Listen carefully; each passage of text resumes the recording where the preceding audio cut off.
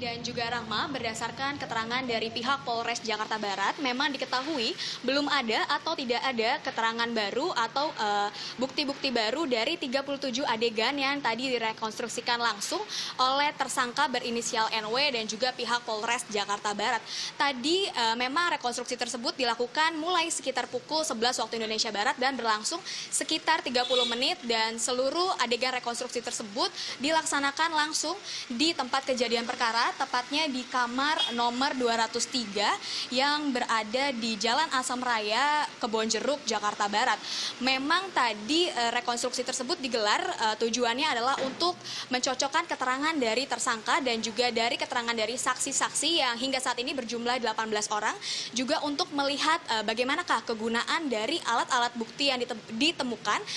dalam perannya yang kemudian akhirnya menewaskan anak berusia lima tahun tersebut. Dan diketahui eh, polisi sendiri telah menemukan sejumlah alat bukti yang di antaranya adalah sebuah kantong kresek berwarna merah yang diduga digunakan untuk eh, menutup kepala korban. Kemudian ada juga alat bukti seperti tali plastik berwarna hitam, kemudian juga penyemprot serangga dan juga eh, ada sebuah gunting. Eh, dan atas perbuatan kejinya tersebut kemudian tersangka dijerat dengan Undang-Undang Perlindungan Anak dengan hukuman maksimal 15 tahun penjara. Dan tadi saat rekonstruksi digelar memang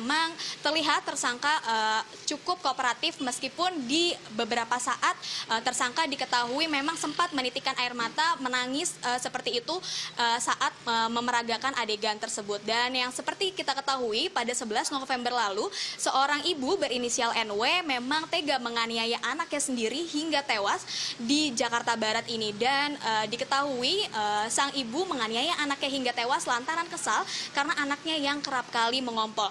Ibu kemudian eh, kerap kali menyiksa anaknya dan yang terakhir diketahui hingga tewas dan atas perbuatannya memang eh, sang ibu kemudian dijerat dengan eh, hukuman maksimal 15 tahun dan dari keterangan dari pihak kepolisian diketahui bahwa sang anak berinisial GW diketahui tewas karena kehabisan oksigen. Demikian yang dapat saya sampaikan Tommy dan juga Rahma.